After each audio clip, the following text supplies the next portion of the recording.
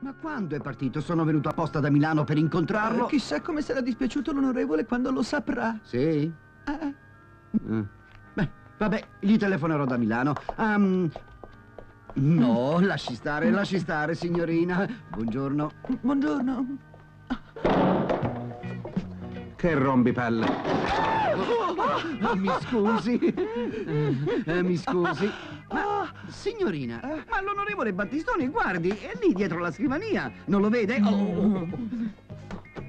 Oh, mi scusi. Eh, aspetti, aspetti, mi sono sbagliato. È soltanto una fotografia perfetta. Molto bella, vero? Molto bella. Eh, beh, è sempre l'onorevole. Eh, già.